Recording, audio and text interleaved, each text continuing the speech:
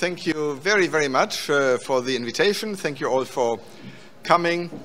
Um, it is your taxes who pay my salary for the United Nations. So I have those of you who pay taxes. Uh, so I, I, thank you all for for funding the United Nations, where we work with you and our member states to make trade more efficient um, and to yeah, support global development. So the story so far, imagine a, a James Bond movie where you first have to go through the car race and the past story and so on, and then, then what's, what's happened. Then we go to back to normal question mark. Um, then comes what's happening in Suez, Red Sea, Black Sea, Panama Canal, and a little bit into the future, some of the key challenges that I think are also very important for, for this group, for the suppliers, for the ship managers, the ship owners. Um, overall, the long-term trend is positive, and it's not so much in the news, because it's good news, actually. So I have three long-term trends with hard data we have looked at since 1960s.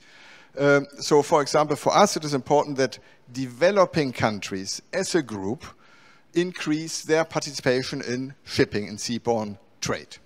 So you see in 1970s, when I went to school, I learned that the world was divided in the north and the south.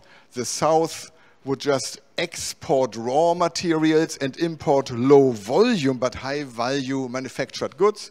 Today, including, of course, so-called developing countries like China, Singapore, and Korea, um, you have uh, a, a, big share also of, of um, the, the unloaded, that's hard port data, the imports of iron ore, coal, oil to produce manufactured goods. So I think that's a long-term positive trend. Year after year, this has been growing.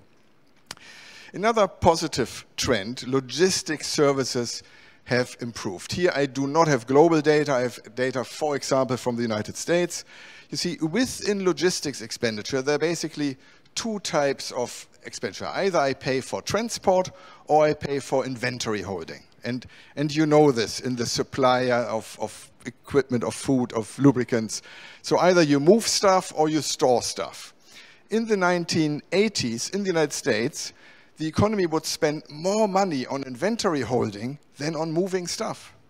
Today, well, I stop here, I go to the today in a minute. Uh, the, the economy spends twice as much on transport compared to inventory holding. This is not because transport is more expensive. Uh, the long term, transport has become cheaper per ton mile, per ton, and so on. More, more energy efficient, better ports, better trade station. It is really an improvement in logistics, which I think is another trend of good news. A third trend where I don't have such a long time series, but we do see that year after year, ports also become more efficient. We can measure this with nowadays AIS data, satellite data, how long do ships spend in port. So although ships are getting bigger and loading, unloading more and more cargo per port call, the time they spend in port tends to go down in both de developing and developed countries. And then came COVID. For example, charter rates, freight rates, went through the roof. If we had more time, I could now spend half an hour explaining the demand supply curves, how ships spend 20% longer in port, and, and, so on and so forth. But, but overall, you have experienced this. I want to share two slides that I found interesting. So when this crisis started, we made a forecast, a simulation, and said higher freight rates will actually lead to higher prices. Now, normally, I think our common story is to say transport is a derived demand. It is just a very small part of the final price of the good in the IKEA store or Walmart or Carrefour.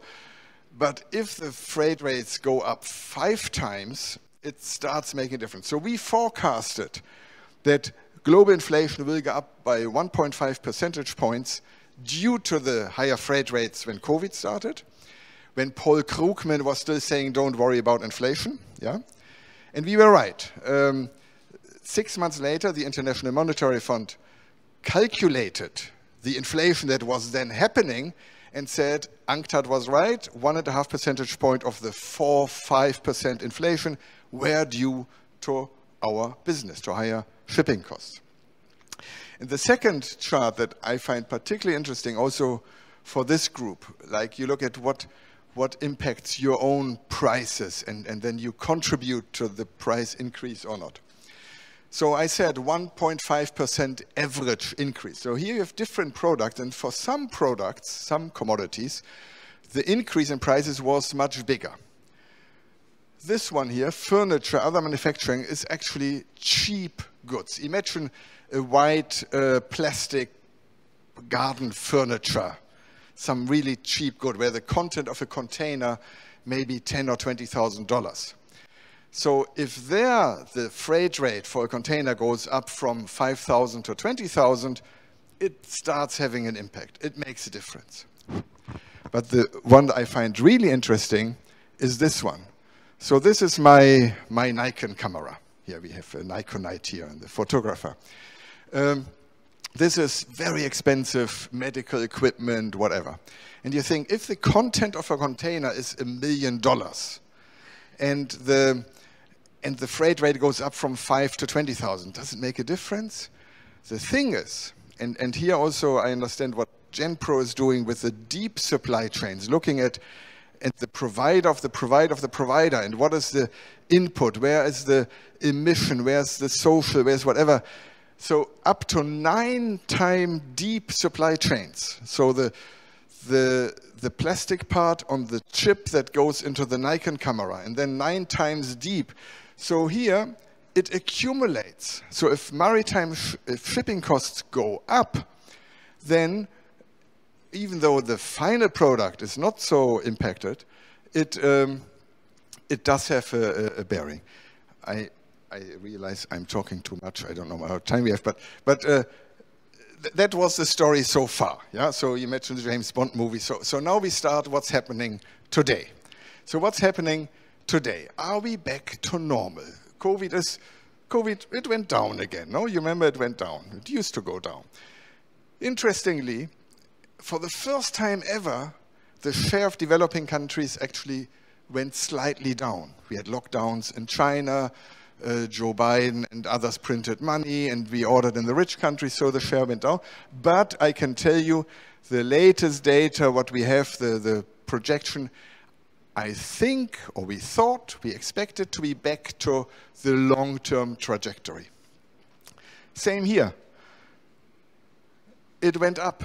You know, especially in the United States, all the logistics problems, the huge inventory holding costs, all the things in the wrong place and, and storing. But again, the data, it's not yet published. It's normally published in June, the, the latest, the 2023 data. So I'm curious to see if we are a little bit back to normal, but I expect we should get back to normal. Then with the time in port during COVID, it did go up. And at some point in time, the developed countries actually had worse port performance than the developing countries. But again, the latest data, we are overall back to a positive trajectory. And then, sorry, again, now comes Red Sea, Black Sea, Panama. Uh, updated just for you, the very latest full month of May data. Suez still really bad. Panama slowly recovering. So th there we had some assessment published by UNCTAD, which I think was, yeah, we are quite proud of it, what, what all this means for, for distances. So one one thing is, of course, also that's the very latest data. First time again back to, to above 3,000, the um, SCFI. The, the charter rates almost 30,000. You see this in your daily news feed. So it is, yeah, we are worried again about prices, about interruptions, about congestion. And in the longer term picture, that is then the good news for the ship owners. so distance has been going up. The three main markets. So oil is going over longer distance. And of course, most recently, oil from Russia is going to, to India and China instead of Europe. Um, Egypt is buying grain more from, from the US and Canada, now back from Ukraine. And this one, of course, it's, it's, a, it's a forecast, uh, but this one is um, container ships going around, around South Africa. You know? So distance going up, and, and the ship owners and the shipyards and the financiers and the, they're all wondering, hmm, should I now invest in new ships because it's going well? But then there's so much uncertainty, so much risk. We don't know what will be the fuel of the future. We don't know when the Houthis will stop shooting. We don't know what will be with the political issue. So um, this risk, this uncertainty, of course, makes investors wait. That's classical microeconomics 101. The higher the uncertainty and risk, the higher the minimum rate of return I expect as an investor. And we have actually the global order book container ships have now surged, but still the global order book for ships is quite low. If you think where it would normally be with these, with the profits, with investment, you would expect a bigger surge in new orders. And, and it's impossible to prove, but I'm personally convinced we would have a bigger order book if we had less uncertainty about future IMO levy, about future fuels, about future political situation, about this situation. One thing uh, I find particularly interesting, and, and, we get a lot of questions, what about nearshoring? And so this is a, I find fascinating chart done by colleagues in UNCTAD who work in the trade division. So they have actually looked at what is a friend in economics, uh, in, in, politics, who are my friends? So they looked at voting patterns, a little bit what Samuel Huntington did when he wrote clash of civilizations. Who votes with whom? Who is like who votes together? So those countries that vote together at the United Nations Security Council, they uh, have started to trade more with each other. Now the change is not big; uh, it's it's a small scale here, but but I do find it interesting. We certainly do not see nearshoring. Yeah, and I just showed you the charts how distances are going up actually, but we do see some friend shoring. Uh, and we see more concentration, uh, like fewer providers, and there we, we have discussions within UNCTAD. Is this good or bad? I would initially have argued it's bad because to, to have better resilience, I need more suppliers. I need less concentration. But to the extent that some of this is among friends or even at home, some of my colleagues argue this may improve your resilience. I honestly don't know. Maybe we have time to discuss. So, a bit thinking about the future, and I was told we should have time for questions, discussion. So the two main issues that I find are important, and uh, it's not just UNCTAD saying this, but, but there's a, a lot of positive developments in digitalization and a lot of challenges in decarbonization. So who led the IT reforms in your company? By the way, I, all photos are from Hoffmann's Travels, and I just thought this guy must have a great overview of visibility of uh, IT connections. So who in your company led the IT reform? And, and we actually found it was mostly COVID-19 who led the IT reform. We have a lot of evidence where when the crisis started, many of our clients, members, uh, the, the port authority of Djibouti or the customs authority of in Bujumbura or so, they used to like paperwork, yeah? But they've realized it might not be a bad idea if I don't touch paper and other people. And I agree to finally do what UNCTAD had been preaching for decades about e-documents, pre-arrival procedures, uh, uh, electronic signatures, and so on. So th there has been a push towards positive reforms, which, if you remember, I had shown you this chart for the United States, this logistics vis-a-vis, -vis, like, like inventory holding versus transport. So the reforms and improvements we see, uh, in spite of COVID, actually we do see positive development here. What we have seen, and here again, we could spend, spend hours and go into many specific things, but we saw on the one hand a more motivation, what I just shared with you, this, this, yeah, I have to, whether I like it or not, I have to digitalize and go for e-documents and so on. But then, and that's a bit of a hobby horse of me, I, I love reading, eating books about AI and, and so on. I don't claim to be an expert. There I speak with one of my sons who just did his master's in artificial intelligence, and he is a very proud daddy. But, but it is just amazing what is happening here. And, and here, um, um, so I like to say technological progress will never be as slow as today. Is it slow? It's not slow, it's fast. But it's going to be even faster and the way AI systems learn from each other. And you've, you've seen the, if it's my wife, I'm, I'm not here. I'm, I'm, uh, so, um, so yes, so this is like, like at the WTO when we were working with them on the trade facilitation agreement. There were member countries when the negotiation started on this TFA, trade facilitation agreement, that obliges countries to introduce single windows and so on. There were member countries who said, publishing my customs duties on the internet? No, no, no, that's too expensive. I cannot publish things on the internet. I'm a poor developing country. Now, that's 20, yeah, uh, 2004, the negotiations started 20 years ago. I think by now it's like obvious no, that, that, that we have to develop today's regulation. That's normally my business, the, the governments, the internationalizations but I would say also private companies don't think about today's technologies. Think about the future technologies when de you develop your business models.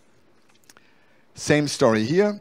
Decarbonization is really the big challenge. We had a special chapter in our last review of maritime transport towards green and just transition. Um, this chart was the one that was most quoted in, in the press. Um, I heard somebody from Bloomberg is here. I think you quoted it too, and Financial Times and so on. So in spite of all the efforts um, about decarbonizing, during the last 10 years, emissions from shipping increased by 20%.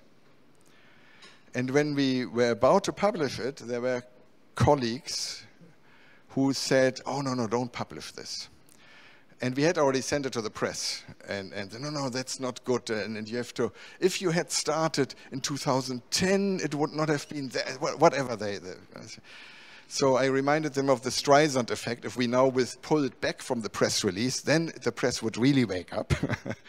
um, so anyhow, so that's the bad news. The good news is that the, the trade had been growing even faster.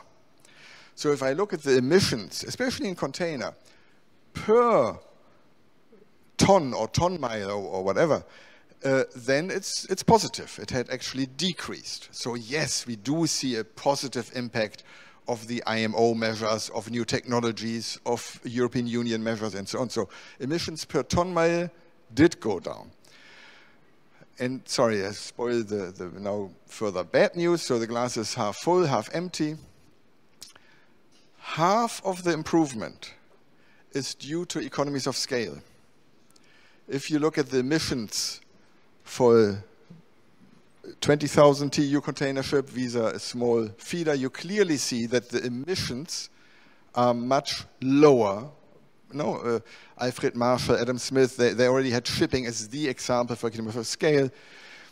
So, so here you see the, the actual change contribution of ship size. So there's a really important contribution of ship size.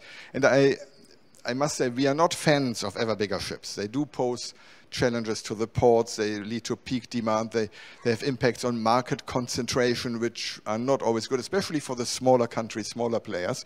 So I'm not suggesting that's a good thing. On the contrary, I'm saying, look, if half of the improvement is due to economy of scale, that means the, the urgency to actually do something real if we want to decarbonize is even more urgent. And here too, sorry to repeat myself, uh, I am overall optimistic. If you look at how the, the capacity of battery has improved, how, uh, I mean, there are many things that have been improving faster and are improving ever faster. So in, in that sense, I think what, what Genpro and others are doing also to, to look at in the future how to measure this, how to provide services on how to know what is my supply chain doing with digital solutions, with the, the decarbonization. I think we are on the right track, and I stop here and thank you all. Thank you very much.